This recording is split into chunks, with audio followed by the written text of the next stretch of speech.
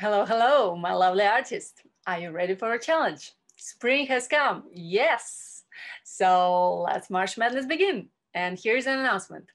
I'm starting a new three Sunday drawing challenge next weekend.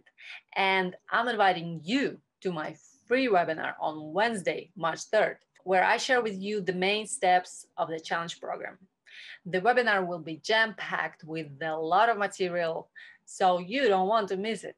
And the Sunday challenge program we are starting will be super intense because the idea is to create art from start to finish. So get ready. And if you can make it on time for the webinar, don't worry, I'll put it up on YouTube.